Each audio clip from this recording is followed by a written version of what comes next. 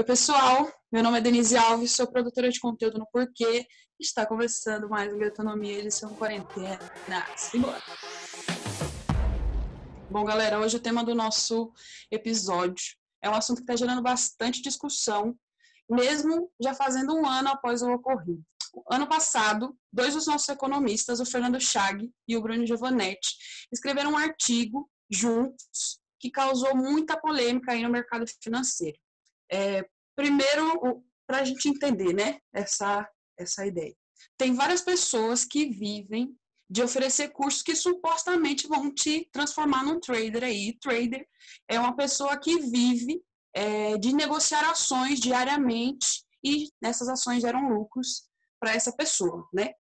Porém, esse estudo mostrou que a maioria dessas pessoas que investem né, nessa, nesses cursos não conseguem ganhar dinheiro com isso e ainda, além disso, expõe as suas economias a um risco gigantesco. Então, já dá para imaginar o alvoroço que gerou esse estudo, não é mesmo? Bom, esse pessoal caiu matando em cima dos economistas, dizendo que professores não entendem nada de mercado financeiro e que eles queriam desencorajar as pessoas mais pobres a participarem né, do mercado financeiro.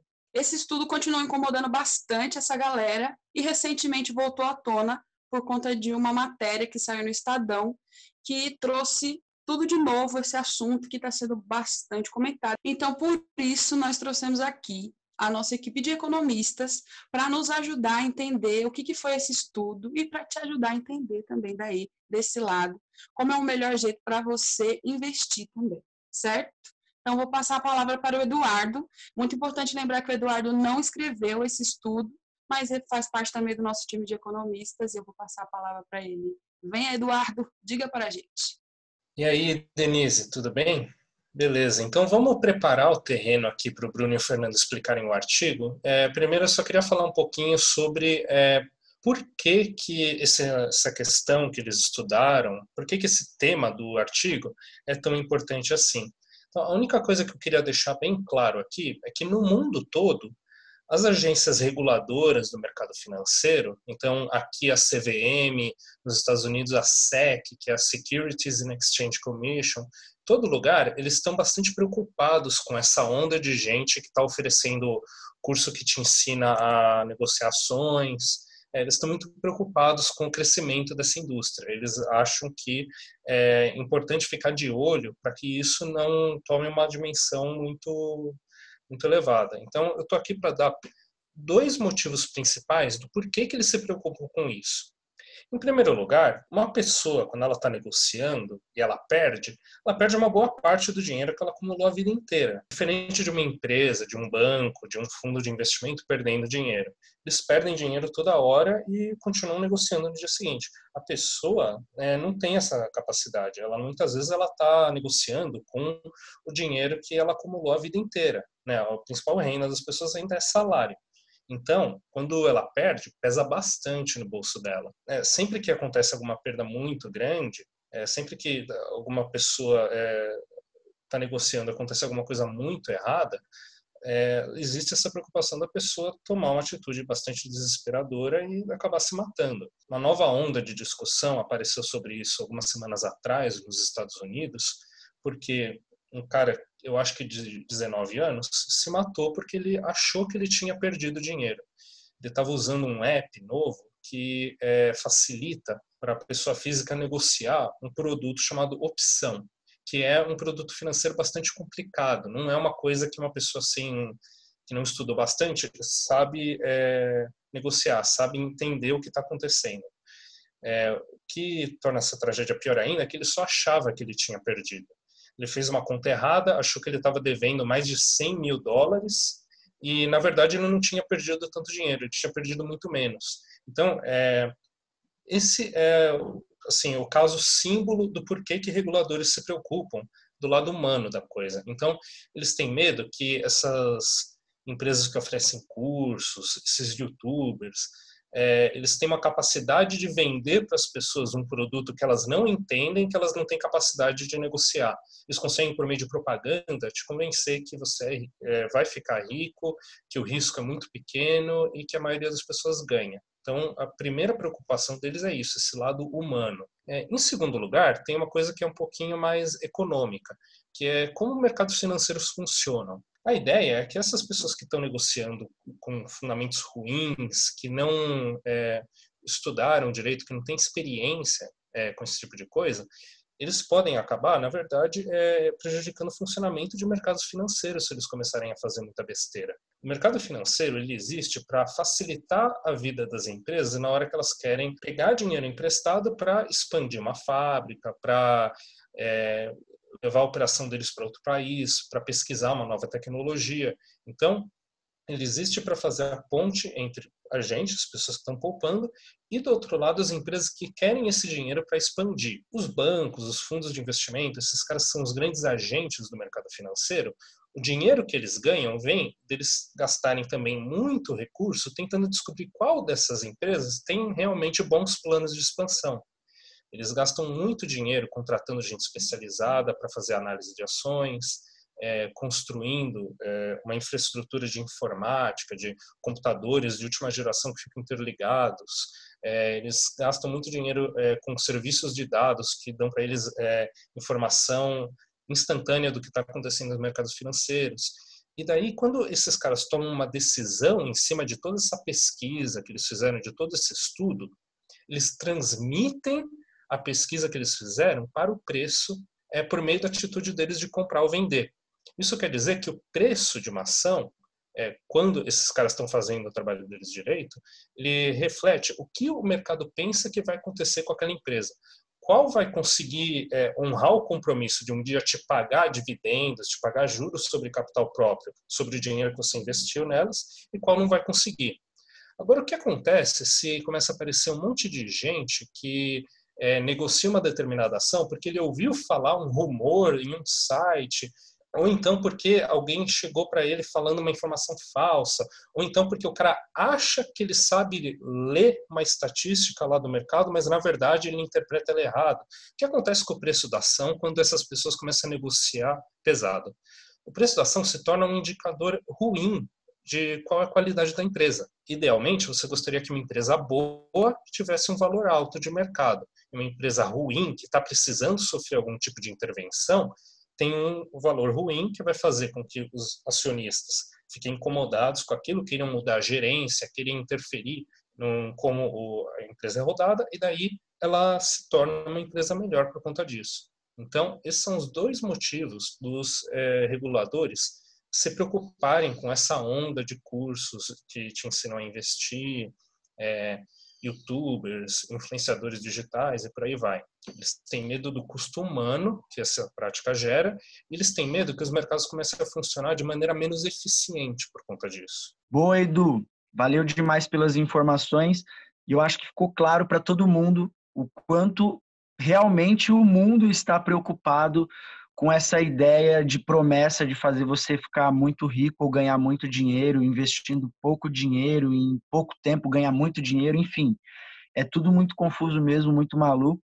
E para falar um pouco sobre o estopim que, que deu margem para toda essa discussão, para essa conversa, eu convido agora o Fernando, que é coautor de, de um artigo e vai falar um pouco melhor como o artigo funciona na prática e qual foi a ideia deles para poder escrever esse documento. Chega junto, Fernando. Bom, é isso aí, Rafa, Eduardo, Denise. Esse é um tema que é, deu muito pano para manga e continua dando. É, a gente, é, bom, pela primeira vez que, que a gente falou desse assunto, foi lá em março do ano passado e já repercutiu muito já quando a gente falou sobre, sobre isso atrás. E continuou repercutindo, e agora com a pandemia, né? Foi uma surpresa para todo mundo essa pandemia. Junto com a surpresa da pandemia e do vírus, também a surpresa de que as pessoas começaram a. já vinham entrando na bolsa, é, mas com a pandemia entraram uma velocidade ainda maior. Também foi uma surpresa, né? O número de pessoas na bolsa hoje é, é assim, vem batendo recordes, mesmo no meio da crise, da loucura que está tá a bolsa. E muitas dessas pessoas que estão chegando agora também estão chegando para fazer day trade, entre outras coisas. Então é um tema que voltou agora é, nas manchetes, é, pelo menos nas manchetes das mídias sociais, né? E, e, essa semana também, né? Saiu até uma, uma influenciadora aí falando sobre isso, anunciando, né? Não sei se fazendo propaganda ou não, não sei qual era o objetivo dela mas repercutiu muito. Então, é, é um assunto super relevante. Então, vou resumir rapidamente a história do, do, do, artigo, né, qual foi o propósito. Bom, então lá atrás é, já vinha então uma, uma, uma tendência forte de, de, de pessoas entrando na bolsa para operar, fazer o day trade. Então, o Eduardo já explicou o que é o day trade. É aquela operação em que você compra e vende é, o mesmo ativo financeiro no mesmo dia. E aí, se você vende a um preço médio, você vende a um preço maior do que você compra, você ganha o dinheiro naquele dia. Então, lá atrás já vinha um movimento muito grande de pessoas entrando na bolsa para fazer isso, e em particular é, no mercado futuro, que é um tipo de ativo especial, que é um pouco mais volátil, é, ou seja, que mexe muito, varia muito de preço, e, e que a pessoa com pouco dinheiro consegue entrar lá dentro e fazer a operação, comprar e vender com pouco dinheiro, que é os, os mercados futuros do mini índice e do mini dólar. Então, nesse estudo, a gente olhou para esses contratos e a gente é, identificou primeiro as pessoas que começaram a fazer esse tipo de coisa na bolsa, então os, os novatos, e aí a gente acompanhou esses novatos na bolsa por um bom tempo. E aí a gente analisou a performance dessa, dessas pessoas, ou seja, o resultado que essas pessoas tiveram depois de um bom tempo fazendo isso. E, e aí os resultados foram bem é, desanimadores, né? Então, a gente, para falar um pouquinho só de números, é, de um total de aproximadamente 20 mil pessoas que começaram a fazer day trade nesses contratos futuros entre 2013 e 2015, é, a grande maioria é, não insistiu muito, ou seja, muitas dessas pessoas, a maioria desistiu no meio do caminho. A gente viu que então dessas 20 mil, só 1.500 pessoas, 1.551 pessoas continuaram fazendo isso por mais de 300 pregões, então a maior parte desistiu. E aí a gente foi ver, bom, essas pessoas que insistiram e que ficaram fazendo day trade nesses contratos futuros por mais de 300 dias, será que elas é, conseguiram tirar um dinheiro é, legal disso daí? E aí a gente encontrou que não. Então essas pessoas ali insistiram, tentaram e no final não ficaram, não ficaram ricas. Longe disso, na verdade.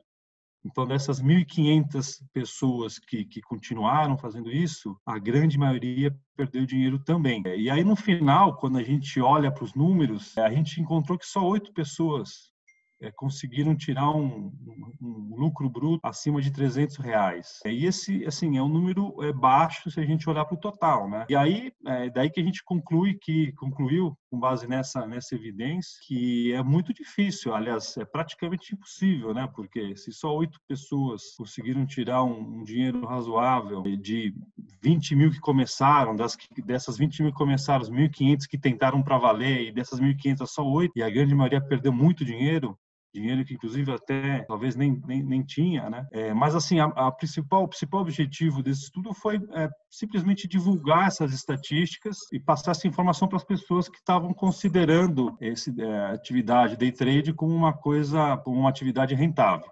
Então, é basicamente, em, em, até um, estendi um pouco aqui, porque poderia ficar falando um bom tempo sobre isso, mas basicamente esse foi a história, um pouco da história do, do estudo e, e, da repercussão também que, que gerou. Que é isso que eu queria falar hoje, posso falar mais, mas acho que vou parar por aqui, senão tiver tomar conta aí do, do Getonomia. É isso. Boa, Fernando. Pô, super interessante aí saber que vocês desenvolveram esse documento com informações tão ricas aí para poder alertar a galera, né? Mas com esses dados aí a partir é, da pesquisa de vocês, fica uma pulga atrás da orelha, uma pergunta que não quer calar. Então, a gente não deveria investir no mercado financeiro, é isso mesmo? Rafa, ótima pergunta. Eu estou aqui no carro hoje com a minha máscara, mas agora para falar que estou tirando a máscara, é o seguinte: é, tem o jeito certo e o jeito errado de pensar em investir em ação. em investir na bolsa. O jeito errado é achar que dá para usar a bolsa como uma fonte de renda recorrente no curto prazo. Ah, então eu vou conseguir tirar da bolsa todo mês um dinheiro. Não, isso não dá. Isso não dá.